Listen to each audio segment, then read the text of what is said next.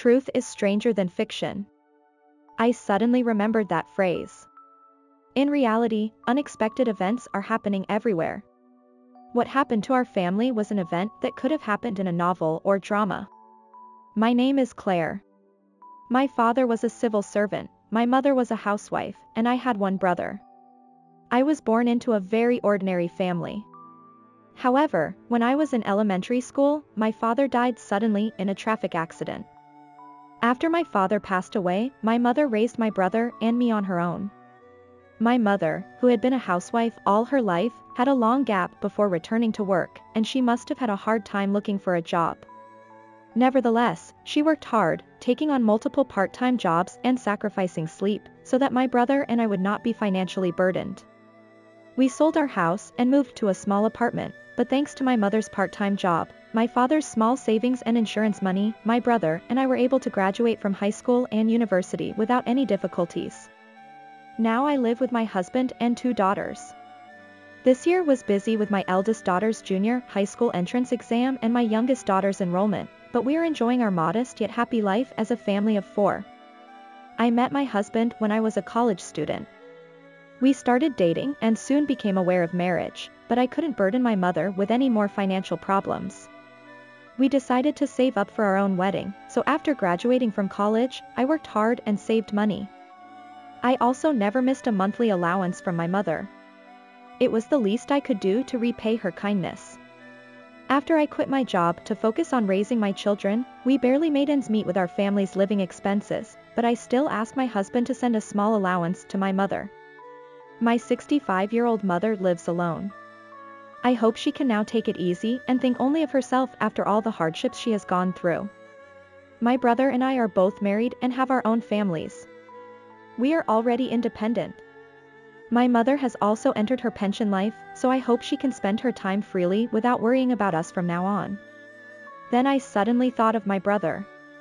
There was something strange about my brother Jackson's marriage.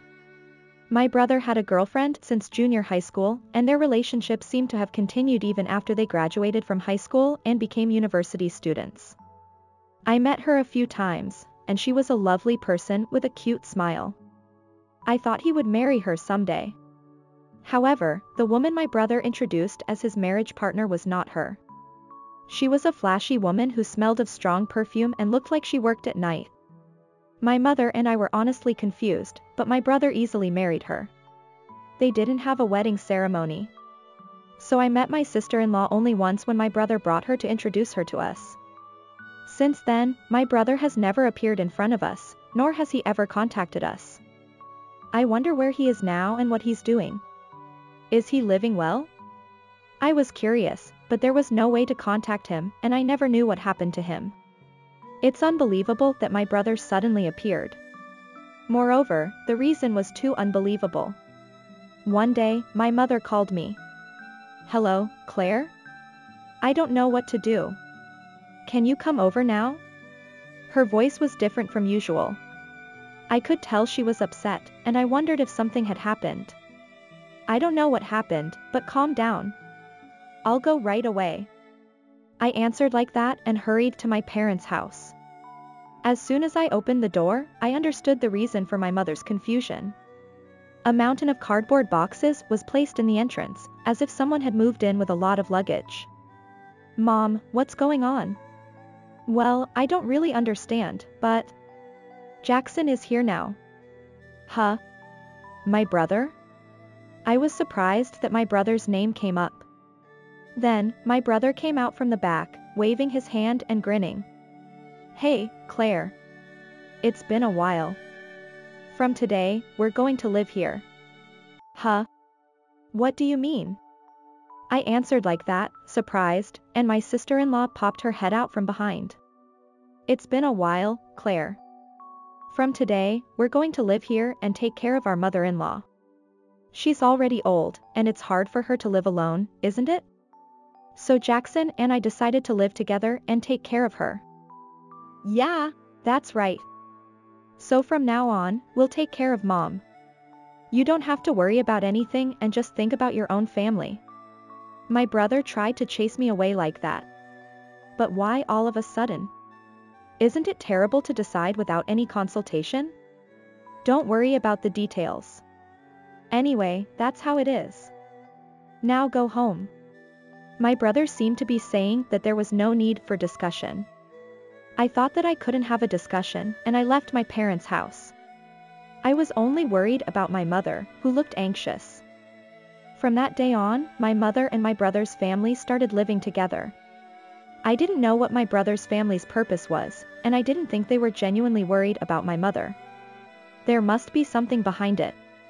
Otherwise, my brother, who had cut off contact for many years, and even his wife, would not suddenly say that they would take care of my mother. I had a bad feeling. It was clearly suspicious. I didn't know if they were really taking care of my mother. I was worried about my mother's safety, but I couldn't call them recklessly because I thought my brother's family was there. Even if I visited them, I would be turned away. Time passed without knowing what to do. One day, my mother came to my house. Claire. I don't know what to do anymore. She said that and cried. I sensed that something terrible had happened to her, more than before. Her body was clearly thinner than before. What's wrong, Mom? You're so thin. Are you eating properly? Your face is terrible. Are you sleeping well? Jackson. Jackson and Caroline. They took all the money you've been sending me. All of it, the cash card. The house is a mess. It's like a garbage dump. They eat and drink whatever they want, and I only get one instant food. They say, you're old, and you don't use your physical strength all day, so one meal is enough. I can't stay there anymore. If they can't prove that they're taking care of me, it's disadvantageous for them to get the inheritance. So I have to stay there from now on. I can't go anywhere, but I can't live properly if I stay there. I don't know what to do anymore. My mother said that and cried. After losing her husband, my mother, who never showed tears no matter how difficult the situation was and always smiled, was crying so painfully. I was overwhelmed with anger towards my brother and his wife who made my mother suffer so much. Mom, don't worry. I'll definitely help you. I won't let my brother's family do whatever they want forever. Doesn't my brother feel any gratitude towards our mother? I can't believe that he would do such a terrible thing to our mother, who has been struggling all along. It's the worst that he suddenly came back for money, even though he hasn't contacted us for so long. I thought about how to punish my brother. Then I came up with a plan. This will surely punish my brother and his vulgar wife. I immediately contacted someone. A few days later, I headed to my parents' house. Excuse me, when I said that, my brother came out with a pale face. Brother, Claire. What the hell are you talking about? I knew my plan was perfect from my brother's desperate look. What are you talking about? I don't really understand. Don't play dumb. What does this eviction order mean? Oh, isn't that from the landlord? Did you read the contents properly? No. I haven't read it yet, that's not good. You have to read it properly. Let me see it. I took the document from my brother and looked through it. I got it. Are you paying the rent properly, Jackson? Huh? Rent? Isn't mom paying it? You don't understand anything, do you? If you're going to live together, you have to talk about things like that. You know, the rent is automatically deducted from mom's account every month. It's been unpaid for several months because of insufficient balance. Unpaid rent. Yes. But it's strange. We've been sending money to mom's account every month, so it's impossible for the rent to be insufficient. You didn't withdraw money on your own, did you? When I asked him that, my brother's face turned even paler. That's, well, I had something to do and used it. That's not good. You have to pay it right away. Jackson, you have to leave this house. Well, you came here just to take care of mom, so you can go back to your original home, right? But I don't have a home to go back to. Huh? What do you mean? I asked him with a dumbfounded look on my face. I actually knew about my brother. Investigating the background of a suspicious person is not something that happens for no reason. After all, my husband is a lawyer. He has a large amount of debt from gambling and his home has been seized. He has been borrowing from consumer finance companies to repay it. He was fired for embezzling company money and is currently unemployed. So he came up with the idea of taking all of his mother's pension and inheritance. You're the worst kind of person. My husband said that quietly from behind me. You, are Claire's husband? My brother tried to maintain his composure and said in a strong tone. Yes. My name is Grayson. I've investigated you in various ways, Jackson. According to Claire, you broke up with your longtime girlfriend and married your current wife, and something strange happened from there. You haven't been in contact for a long time, have you? I've heard Claire's story, but it's the first time I've met you in person. Investigated. What did you investigate? My sister-in-law, who seemed to have heard my husband's story from the back, said that with a desperate look. There must be a past she doesn't want to reveal. Caroline, you worked at night after dropping out of high school. It seems that you seduced Jackson, who happened to visit you through your boss, and even got married. That's not true. I didn't use Jackson. We loved each other and that's why we've been together for so long. It's true that we met at a bar. But our marriage was something we decided together, right? Sister-in-law appealed to my brother. But he seemed to remember something. You were trying to use me, weren't you? I had a girlfriend at the time. Even though I refused you, you persuaded me. After we got married, you said you didn't want to have anything to do with my family, so I stopped contacting mom and Claire, and when you needed money, I gambled. But it was all for you. You didn't care about me, you just wanted the money I gave you, right? That's not true. I really loved you. In front of me, a dramatic scene of a man and a woman was unfolding. I was listening to their conversation with a half-dreamy feeling, wondering if such a thing really happens. I immediately thought of the possibility that my brother was not paying the rent because he was touching my mother's money, and I told the landlord and my husband about it. The landlord immediately investigated the payment status and issued an eviction notice to my parents' house, and my husband agreed to investigate my brother's family in detail.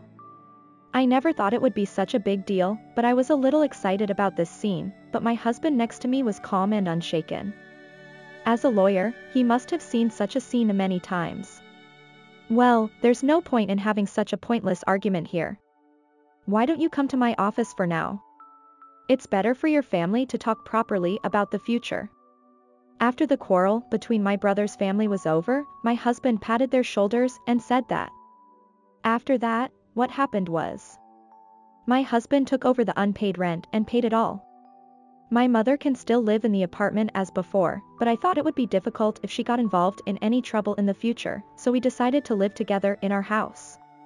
When I talked to my mother about living together, she was very shy at first, but she smiled and said that it might be fun to live with her grandchildren, whom she could only see occasionally.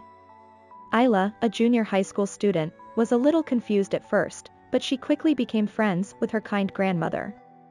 Little Sarah, who is still small, is laughing happily as she is held by her grandmother. The aftermath of my brother's family was too tragic. My brother, who was at a loss because there was no prospect of repaying the debt that had swelled up, divorced his wife, who was the root of all evil, by force, and disappeared. However, no matter how much he tried to escape, the debt collectors would follow him wherever he went. I feel a little sympathy for the tragedy that resulted from being used by my sister-in-law, but it's his own fault. I can't defend him when I think about how badly he treated my mother. I don't know much about what happened to my sister-in-law, but it seems that she is clinging to her old job at a bar, so she will probably find another man and continue to use him. My sister-in-law doesn't have a shred of love and only thinks about money. She just takes the money from any man she can find, and I think her life is pitiful when I think about what kind of tragedy awaits her. But it's none of my business anymore. I don't need to think about what will happen to her in the future. Since my mother is here, I decided to go back to work.